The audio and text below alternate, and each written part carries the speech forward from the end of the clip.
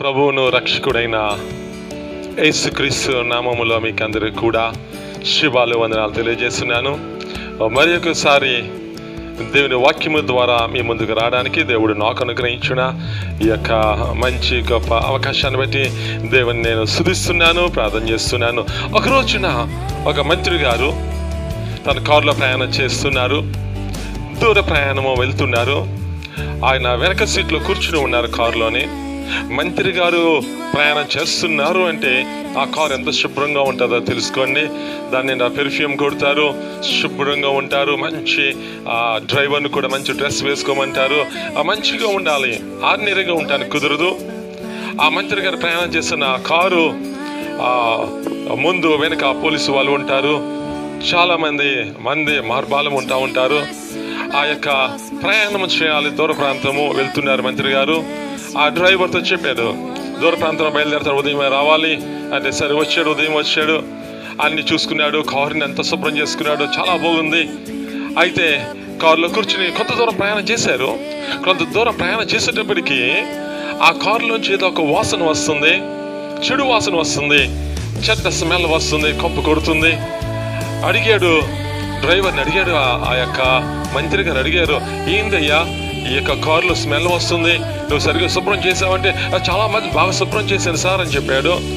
మరి శుభ్రం చేస్తే ఎందుకు వస్తుంది ఈ స్మెల్? కొంచెం సెంట్ కొట్టు అన్నాడు. పెర్ఫ్యూమ్ కొట్టారు. అయినా సరే ఆ యొక్క వాసన పోవటం లేదు ఆ యొక్క ఆ కారులో నుంచి. అద్దాలన్నీ మూసేస్తుంటాయి కాబట్టి ఆ చెడ్డ స్మెల్ పోవటం లేదు. ఏదైనా ఎలక కానీ ఏదైనా చచ్చిపోయిందేమో లోన ఆ, చూడు అన్నారు. ఆ కారు ఆపి అన్ని చెక్ చేశారు. అంతా బాగా ఉంది మరలా కూర్చొని ప్రయాణం చేస్తున్నారు. అయినప్పటికీ ఆ కంపు పోవడం లేదంట. ఆ స్మెల్ వస్తానే ఉంది. ఈ యొక్క భరించలేకపోతున్నాడు. అప్పుడు అడిగాడంట ఆ యొక్క మంత్రి గారు కొంచెం డౌట్ వచ్చి అడిగారంట. నీ యొక్క కాళ్ళుకు వేసుకున్న సాక్స్ ఎలా ఉంది అని అడిగారంట. అప్పుడు గుర్తొచ్చిందంట ఆ కాళ్ళకు వేసుకున్న సాక్స్ ఆ పాత యొక్క పాత సాక్స్ వేసుకున్నాడంట ఆ యొక్క డ్రైవర్ వెంటనే చెప్పాడంట గుర్తుందా లేదా నీకు? ఈ కాళ్ళు ఇలా ప్రయాణం చేస్తున్నప్పుడు ఇలాంటి సాక్స్ వేసుకుంటాం ఎంత కంపు కొడుతుంది. ఆ చూడు అంటేప్పటికి చూసేటప్పటికి ఆ యొక్క సాక్స్ చాలా భయంకరమైన కంపు కొడుతుంది.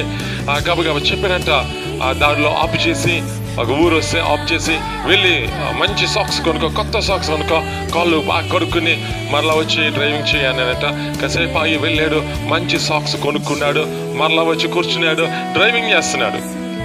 అయితే డ్రైవింగ్ చేస్తున్నా మరలా కంపు వస్తుంది మరలా స్మెల్ వస్తుంది. అడిగాడంట ఏంటయ్యా ఆ సాక్స్ మార్చుకున్నావు ఇంకా స్మెల్ వస్తుంది. ఏంటి ఏం చేసావు? ఆ పాత సాక్స్ ఏం చేసావు? పడేసావా? అన్నాడంట. అప్పుడు ఆ డ్రైవర్ అన్నాడంట లేదు సార్ ఆ పాత సాక్స్ నా జేబులో పెట్టుకున్నానండి. ఆ కెప్టెన్ మై పాకెట్ అన్నాడంట. నీ యొక్క జేబులో పెట్టుకుంటే ఓ, మరలా స్మెల్ రావడం మానేస్తుందా? కంపు కొట్టడం మానేస్తుందా? ముందు అర్జెంటుగా ఆ సాక్స్ బయట పడవేయన్నాడంట కాసేపు ఉపయోగపడతాయి కదా మళ్ళీ ఉతికి పెట్టుకోవచ్చు కదా అని నా పాకెట్లో దాచుకున్నానండి అన్నాడంట. అర్థమయ్యే ఉంటుంది? చాలామంది క్రైస్తవులు ఇలాగే ఉంటున్నారు. ప్రభు దగ్గరికి వచ్చేమో మేము అంటున్నారు. ఏసై నమ్ముకున్నాము. ప్రభు మమ్మల్ని రక్షించాడు అంటున్నారు. కానీ ఆ పాత అలవాట్లు మరలా జేబులో పెట్టుకునే ఉంటున్నారు. హృదయంలో దాచుకుని ఉంటున్నారు. కాబట్టి ఆ పాత అలవాట్లు ఆ పాత పద్ధతులు మనము మన దగ్గర ఉంచుకుంటానికి వీలు లేదు అని దేవుడు ఆ సెలవిస్తున్నాడు. ఒక్కసారి మనం ప్రభు వైపు తిరిగేమో అంటే ఆ పాతవన్నీ మర్చిపోవాలి పాతవన్నీ ఇట్లా తీసివేయాలి. మన ఇంటిలో కానీ శరీరంలో కానీ హృదయంలో కానీ ఏది కూడా పాపము అన్నది మనలో ఉండడానికి వీల్లేదు. శుభ్రం చేసుకున్నాము. ఏసే రక్తం మనం శుభ్రం చేసేసింది. కానీ చాలామంది ఈ పాపాన్ని లోన పెట్టుకుంటున్నారు. ఎప్పుడైనా ఉపయోగపడుతుందేమో? ఆ సాక్స్ ఎలాగైతే దాచుకున్నాడో ఆ కారు డ్రైవరు అలాగే చాలామంది దాచుకుంటున్నారు. ఈ పాపాన్ని లోన్ దాచుకుంటున్నారు. కాబట్టి అలాగ దాచుకుంటానికి ఓ వీలు లేదు అని దేవుడు సెలవిస్తున్నాడు ఈరోజు. కాబట్టి మనం ఎలాగున్నాము? ఈ రోజు నువ్వు ఎలాగున్నావు అని దేవుడు అడుగుతున్నాడు. యాకోబు తన మామ దగ్గర నుంచి లాభాన దగ్గర నుంచి వెనక్కి వచ్చేస్తూ ఉన్నాడు. యాసవు అన్న తను కలుసుకున్నాడు. కలుసుకుని ఇద్దరు కలుసుకుని సంతోషించారు. అయితే మనం వెళ్తున్నాము వెనక్కి ఇప్పుడు. అక్కడున్న తన భార్యతోటి బిడ్డలతోటి అక్కడున్న తన దోసలంతతో చెప్పాడు ఒక మాట చెప్పాడు. అది కానీ ముప్పై ఐదు వచ్చాము మూడవ వచ్చిన మాట రాయబడి ఉంటుంది. మిమ్మల్ని మీరు పరిశుద్ధపరచుకోండి శుద్ధి చేసుకోండి. మీ దగ్గర ఉన్న అన్య దేవతలను తీసి పడవేయండి అని చెప్పాడు. ఉంచుకోవద్దు. ఒకసారి రాహేలు ఉంచుకుంది. తన దగ్గర నుంచి వచ్చి తీసి తన తండ్రి దగ్గర నుంచి వచ్చిన ఆ కొంత వాటిని ఆ అన్య దేవతలు తీసుకొచ్చి దానిలో పెట్టుకుంది కాబట్టి శ్రమ వచ్చి పడ్డది కష్టం వచ్చి పడ్డది. ఇప్పుడు అంటున్నాడు యాకోబు తీసివేయండి. అంటే వెంటనే ఆ వా- దేవతలన్నింటిని వారు పూజించిన వాటన్నిటిని తీసి పడవేసి వారు పరిశుద్ధపరుచుకున్నారు అని రాయబడ్డది. కాబట్టి ఈరోజు మనం పరిశుద్ధపరచుకోవాలి. ఇది is the right time to cleanse our self Yesu ప్రభు యొక్క రక్తంలో మనము కడుక్కోవాలని ప్రభు అయిన యేసుక్రీస్తు ఈరోజు సెలవిస్తూ ఉన్నాడు. మనం ఎలాగున్నాము దాచుకుంటున్నాం ఇంకా అని. చాలామంది దాచుకుంటున్నారు. మన దగ్గర ఉండకూడని వాటిని మన దగ్గర తీసివేయాలి. తీసివేస్తున్నావా? ప్రభు దగ్గరికి వచ్చామండి ఏసై నమ్ముకున్నామండి. ఇంకా అన్య కార్యక్రమాలు అన్య సంగతులు ఆ ఆ యొక్క ఎదురు చూడడము ఇలాంటి మంచి రోజు చెడ్డ రోజు అనే వాటితో లోన పెట్టుకుంటున్న హృదయంలో ఆ కారు డ్రైవరు ఆ కంపు కొడుతున్న సాక్స్ని ఎలాగైతే ఆ కారులో ఉంచుకున్నాడో ఆ జేబులో పెట్టుకున్నాడో అలాగా చాలామంది పెట్టుకుంటున్నారు. అప్పుడప్పుడు వెనక్కి తిరిగి చూస్తున్నారు. మనం చూడడానికి వీలలేదు. కుక్క తన వాంతికి తిరుగుతుంది అని రాయబడ్డది. కడుగుబడి పంది మరలా ఆ యొక్క బురదలో దొల్లుతుంది అని రాయబడ్డది ఒక నిజమైన క్రైస్తవుడు వెనకకి తిరిగి చూడడానికి వీలు లేదు అని ఆ దేవుడు సెలవిస్తున్నాడు.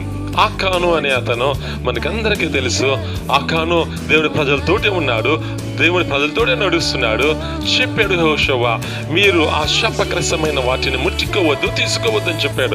కానీ ఆ యొక్క అక్కనను అతను తీసుకొచ్చి తన యొక్క గుడారంలో దాచుకున్నాడు. చివరికి జరిగింది ఏంటంటే ఆ కోరు లోయలో తన భార్య ఆ బిడ్డల్ని దాసుల్ని తనకున్న ఆశనంతటిని రాళ్ళ చేత కొట్టి చెప్పినట్టు రాయబడ్డది. కాబట్టి పాపము మన దగ్గర పెట్టుకోవడానికి వీల్లేదు. తీసివేయాలి ఆ దూరపరుచుకోవాలి అని దేవుడు సెలవిస్తున్నాడు. గెహాజీ దేవుని సముఖుడితోటి ఉన్నాడు. కానీ నయమాన్ని దగ్గర ఉన్న సొమ్మని ఆశించాడు. కుష్ఠ రోగం తెచ్చి పెట్టుకున్నాడు. ఈరోజు దేవుడు మనతో మాట్లాడుతున్నాడు. ఏసై నీతో మాట్లాడుతున్నాడు. నీ దగ్గర ఉండకూడని వాటిని ఉంచుకుంటానికి వీల్లేదు. ప్రేమ సంతోషము సమాధానము దీర్ఘశాంతము సాత్వికము ఈ యొక్క గలతీ రాసిన పత్రికలో ఐదు వచ్చే ఇరవై రెండులో రాయబడిన ఆత్మ ఫలమును మనం పెట్టుకోవాలి. తప్ప వీటిని మనం పెట్టుకుంటానికి ఓ వీలు లేదు అని దేవుడు సెలవిస్తున్నాడు. మన వైపు దేవుడు ఉన్నాడు. ఏసయ్య మన వైపు ఉన్నాడా? God is always on our side but we have to examine our self whether we are on God side or not మనం దేవునితో వైపు ఉన్నామా లేదా మనం పరీక్షించుకోవాలి.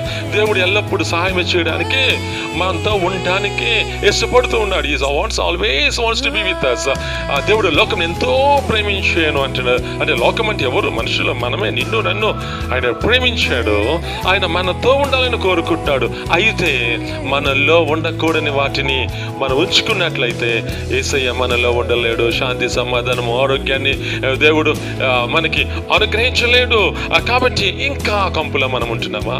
ఆ హృదయాన్ని మనలో ఆ కంపుని మన హృదయంలో పెట్టుకోవద్దు. ఆ సాక్స్ని ఎలాగైతే దానిలో పెట్టుకున్నాడో అలాగా మనం పెట్టుకోవడానికి వీలు లేదు దేవుడు నిన్ను ఆశీర్వదించాలంటే నిన్ను దీవించాలంటే నిన్ను బహుగా ఆశీర్వదించాలంటే తీసివేయాలి తీసివేయాలి. యాకోబు అన్నిటిని తీసివేశాడు. అందుచేత ఆశీర్వాదం పొందాడు అని రాయబడ్డది. ఇక తీసివేయలేదు కుష్ఠరోగం వచ్చి పడ్డది కాబట్టి ఎలాగుంటావు నువ్వు ఈరోజు? ఏసయ్య నిన్ను పిలుస్తూ ఉన్నాడు. గాడ్ ఈజ్ కాలింగ్ యూ ఆయన నిన్ను పేరు పెట్టి పిలుస్తున్నాడు. జక్కయ్య అని పిలిచాడు. నిన్ను కూడా పిలుస్తాడు వస్తావా? ఆ చక్కయ్య ఏసై దగ్గరికి వచ్చినప్పుడు అన్ని వదిలిపెట్టేశాడు. నాలుగు గంటలు తిరిగి ఇచ్చివేశాడు అన్యాయంగా తీసుకున్న సమయంలో తిరిగి ఇచ్చివేశాడు మరలా వాటిని లోనికి రానివ్వలేదు. మరలా పాత జీవితంలోనికి తన వెళ్ళలేదు. ఆ పాత కంపుని మరలా లోనికి రానివ్వలేదు. తప్పిపోయిన కుమారుడు కూడా ఆ పాత కంపులోనికి మరలా వెళ్ళలేదు. ఇది గో బ్యాక్. వెనక్కి తిరిగి చూడడానికి లేదు. I decided to follow Jesus ఒక ప- పాటని ఈ రోజులో మనం వింటున్నాము. ఎవరు నాతో వచ్చినా రాకపోయినా నేను మట్టుకు ప్రభువుతో ఉంటాను. నన్ను ఎవరు విడిచిపెట్టినా నేను మట్టుకు ప్రభువునే వెంబడిస్తాను. అస్సామీలో జరిగిన అస్సాంలో జరిగిన ఈ సంగతి ప్రపంచమంతా కూడా వ్యాపించేసింది ఈ పాట. మనము కూడా నో టర్నింగ్ బ్యాక్ వెనక్కి తిరిగి చూడడానికి వీల్లేదు. మళ్ళా ఆ యొక్క పాత వాటిని మనలోనికి మన హృదయంలో పెట్టుకుంటానికి వీలు లేదు అని దేవుడు సెలవిస్తున్నాడు. కాబట్టి ఎలా ఉన్నవి ఈరోజు హౌ ఈజ్ యువర్ లైఫ్ నీ జీవితం ఎలా ఉంది? కాబట్టి నూతన పరుచుకుందాము. యహోషవ పాత చెప్తున్నాడు. యహోషవ చెప్తున్నాడు. మనము వెళ్తున్నాము అవతల వైపుకి. యోర్దాను దాటబోతున్నాము. దేవుడు రేపు మన జీవితంలో అద్భుత కార్యం చేయబోతున్నాడు. కాబట్టి మిమ్మల్ని మీరు పరిశుద్ధపరచుకోండి. దాని అర్థం ఏంటంటే మీలో ఏదైనా సరే కల్మషం ఉన్నా ఏదైనా పాపం ఉన్నా వాటిని విడిచిపెట్టేయండి తీసిపోయండి అప్పుడు మట్టుకే దేవుడు మనల్ని ఆస్వాదించే దేవుడు. అప్పుడు మట్టుకే మనల్ని దీవించే దేవుడు యేసుప్రభువారు కాబట్టి ఈ మాటలు విన్నావు కదా ఇంకా నీ హృదయంలో ఏదైనా దాచుకున్నట్లయితే పర్లేదండి పాస్టర్ గారు పర్లేదండి పర్లేదండి. ఆ కొంచెము ఒక చిన్న చుక్క ఆ విషం అయినప్పటికీ అది మనిషిని చంపేస్తుంది. చిన్నదే కదా అనొద్దు. చిన్ని పామే కదా పాస్టర్ గారు పర్లేదు అంటే కుదరదు. అది కాటు వేస్తుంది జాగ్రత్త. చిన్నిదే అనొద్దు. ఆ చిన్నిదైనా పెద్దదైనా ఏదైనా పాపము పాపమే తెల్ల పాపము అంటారు. వైట్ సిన్ అంటారు.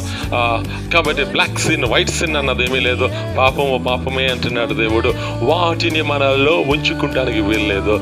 దేవుని బిడ్డలుగా మనం ఉండాలని దేవుడు కోరుతున్నాడు. ఈ మాటలు నీ హృదయంలో నాటుకోవాలని కోరుతూ ఉన్నాను. దేవుడు కొద్ది మాటలను దీవించి ఆశించుగాక మీకోసం చిన్న ప్రార్థన చేస్తాను. ప్రభా మీకొందిన ఆలోచనలు స్థుతులు ఈ మాటలు విన బిడ్డలు ప్రభా వారి జీవితంలో పాపాన్ని ఉంచుకోవడానికి వీలలేదు ప్రభా.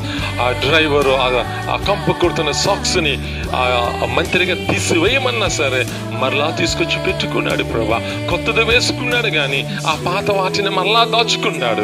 మేము అలా ఉండడానికి వీలలేదు నీ కోసం బ్రతుకుటకు సహాయం చేయండి. ఏ సైనాం అడుగుచున్నాము తండ్రి. Amen amen amen.